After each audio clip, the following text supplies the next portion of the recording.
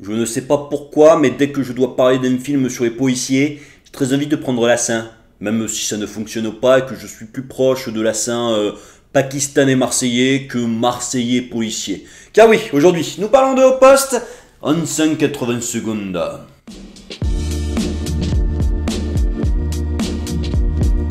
Réalisé par Quentin Dupieux et sorti le 4 juillet 2018, une garde à vue tout ce qu'il y a de plus banal va tourner à l'absurde.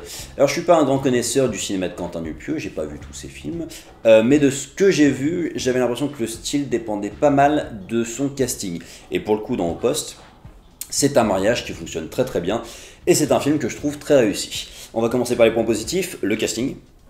Les acteurs fonctionnent tous à fond les ballons, aussi bien le duo euh, Ludwig Poulvard sur lequel repose le film, parce que c'est quand même les deux personnages qu'on va voir le plus longtemps dans le film, euh, Monsieur Fraise qui abotine dans sa partition, ça fait un plaisir fou, Anaïs de Moustier pas juste là, pour, pour en mettre quelques-unes, elle fonctionne à donf, Philippe Dusquen est toujours très plaisant à voir, même si c'est sur des temps aussi réduits que dans ce film-là, tous sont très très justes dans l'absurde, dans le sens où je trouve qu'ils euh, ont cette intelligence de jouer le vrai et pas de jouer la vanne, et c'est ce qui fonctionne vachement mieux dans un Au Poste que dans n'importe quelle autre comédie française, et puis je pense pas que Au Poste puisse être qualifié de comédie, parce qu'il a euh, un style et une réflexivité euh, sur le cinéma qu'il propose, à savoir un, film policier, qui est assez intéressante. Et ça, c'est mon deuxième bon point.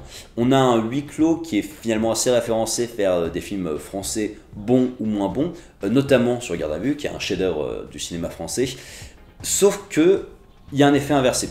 Dans le sens où dans Garde à vue, c'est dramatique, il y a des enjeux de fou, on cherche un pédophile, c'est lourd quoi, c'est pou. Et eh ben euh, ici, pas du tout, c'est tout l'inverse, il y a une absence constante d'enjeu, euh, cette garde à vue n'a aucun putain de sens, il n'y a aucun drame finalement, et euh, c'est ce qui fait que le film permet de tourner les films policiers particulièrement français, ce style-là français du bureau de policier à la Julie Lescaut et compagnie et compagnie, complètement en dérision.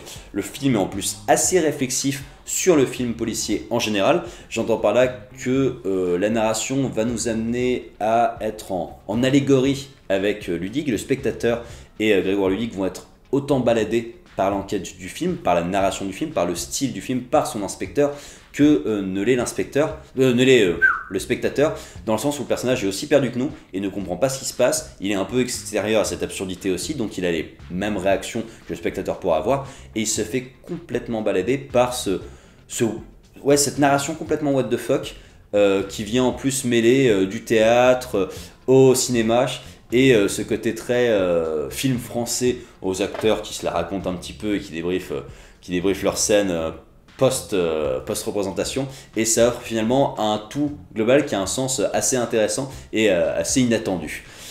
Il n'y a pas besoin en plus de tout comprendre, je trouve, pour aimer ce film. Je trouve que, je vous parler de cette métaphore, mais je trouve qu'elle n'est pas forcément mise en avant dans le film plus que ça. Il n'y a pas d'assistanat de réel en fait. Et c'est ça qui est vraiment plaisant, c'est qu'on parcourt ce Quentin Dupuis avec grand plaisir, sans s'interroger sur ses intentions, mais juste en kiffant ce qu'il a à nous offrir, à savoir un film absurde, très réussi dans sa partition stylistique. Et top. Oh, vous êtes là. Je ne vous avais pas vu, j'espère que ce film vous a autant plu qu'à moi, et je vous invite à liker, commenter, vous abonner, et puis je vous donne rendez-vous très bientôt sur la chaîne YouTube de Directive Première pour d'autres critiques ciné. En non, pas 178 secondes, ni 179 secondes, mais bien 180 secondes.